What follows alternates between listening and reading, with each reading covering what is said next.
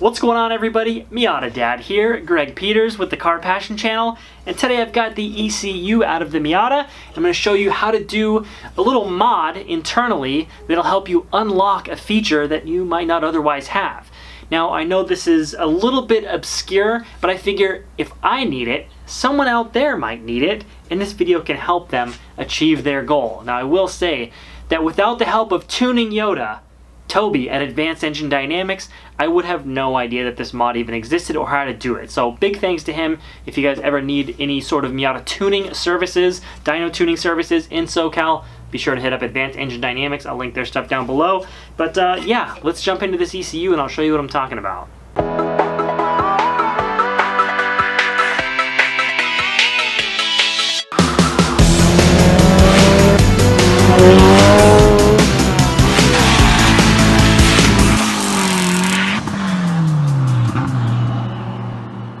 So let me show you the reason why we're going to be adding what's called an analog input. Now this is a map of the options port on the back of an MS3 or an MS Pro and it's got a bunch of letters and it gives you the pinout right here. You can see it lists every pin down there and what type of uh, connection it is or what kind of input. And you can see pin C and pin D analog input 1 and analog input 2. Now analog input pins are what you use to hook up a 5 volt reference. Basically any type of coolant temperature sensor, air intake temperature sensor, uh, map sensor, wideband, anything that has a 0 to 5 volt variable output can be input to one of these analog input pins and then data logged with Megasquirt and shown on your gauges in Tuner Studio, etc. So you can see here that they're nice enough to give you two analog inputs so you can add two additional sensors which can be then data logged. You'll simply pin the signal wire into the correct pin on the options port and then you go into Tuner Studio and tell it what to look for and set up the sensor and whatnot and then bam, you can add additional things like that. But something peculiar that you'll see inside Tuner Studio is when you go to set up one of these pins, you've got options in your menu for analog input 1, analog input 2, and analog input 3. And what's going on here is the board of Megasquirt has analog input 3, it's just not pinned out to anything, so you can't access it. So all we have to do is get it from the board to a pin, and then we can access it there and add a third additional analog sensor with our Megasquirt setup. I certainly can't promise that this is the same on all Megasquirts, but as you just saw, if you've got more inputs in Tuner Studio than your actual Megasquirt allows, then it might be possible to do this mod. I have a 90 to 93 MS Pro plug and play I have a 1992 Miata. Your Megasquirt always has to match the year of the chassis, not the engine. Uh, I've got a 2001 engine in my car. So if you look at this giant row of pins here, you can see one labeled A in 1, and to the left of that, A in 2, and just below that, A in 3, which would be your analog input 3, that is not connected to anything. Essentially what you have to do is take a tiny wire and solder it from analog input 3 over to a pin that you're not going to use. That's the inside of the options port.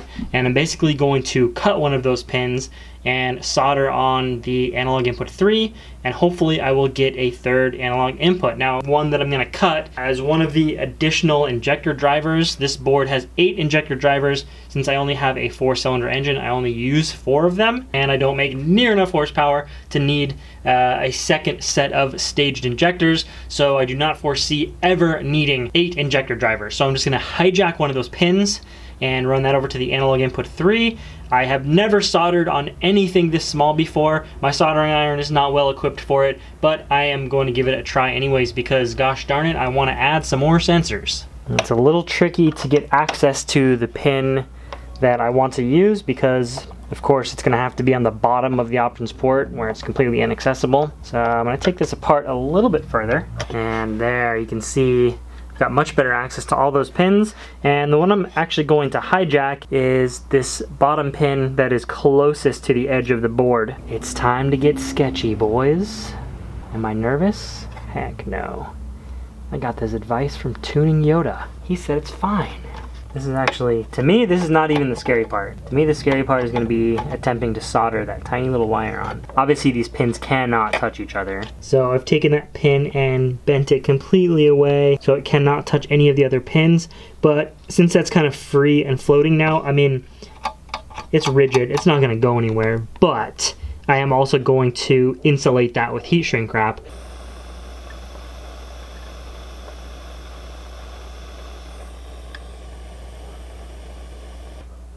I can literally pick the board up by it, so I think that solder is strong enough. It's not going to be that big of a deal if it comes loose, I just won't have a reading. Okay. After several attempts, it looks like we actually have a strong solder. Now, solder the other end to this pin and freaking put this thing back in the car and hopefully not fail.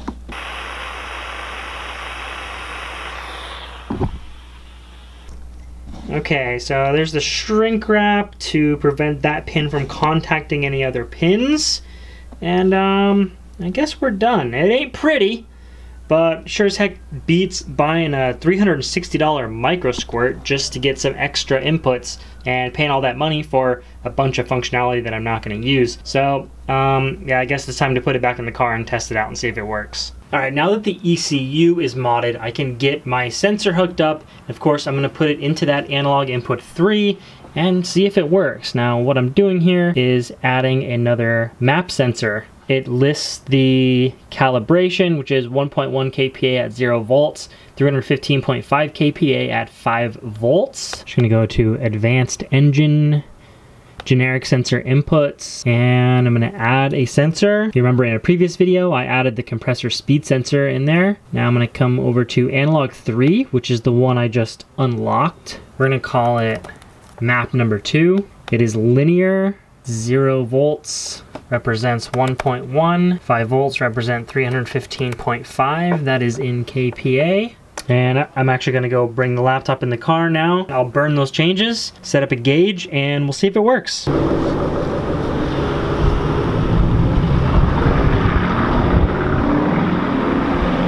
I don't know what he thought he was doing on my turf, but we'll let it slide this time. Okay, so what I've done here is set up two identical map gauges. One is for the ECU map sensor, one is for the secondary map sensor and I've hooked the secondary map sensor up to the intake manifold so both of these should have the same reading when the engine is running. So let's see what happens when we go to on here.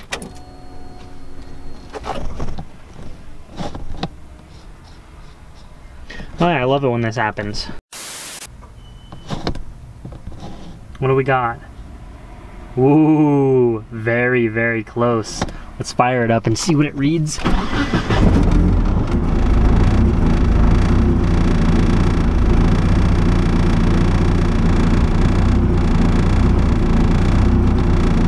Alright, so obviously I haven't finished cleaning up my wiring for this yet, but now I've got a secondary map sensor, which just lives right there in the engine bay, and I can plug in a vacuum line from any part of the engine into that, and Megasquirt will be able to both read and data log the pressures, and that can be used in a, a few different areas. You can data log the pressure in your crankcase. You can data log the vacuum uh, before your turbo. You can data log the pressure before the intercooler to measure intercooler efficiency. There's a lot of cool stuff you can do with that. And that's why I added it because I, I treat my car kind of like a, you know, it's a little science lab.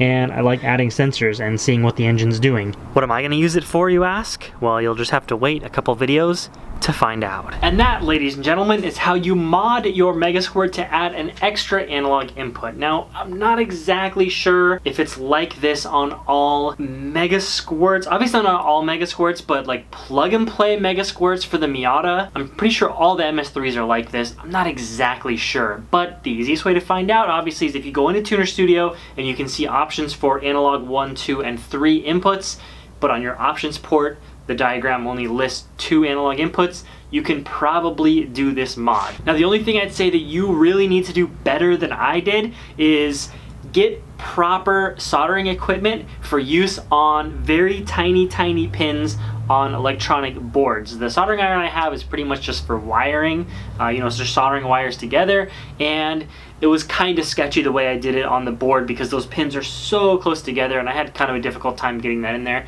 but it works and I'm pumped. So if you guys did enjoy this video, don't forget to smash that like button, subscribe if you are new, I got a bunch of content coming up that I cannot wait to share with you guys.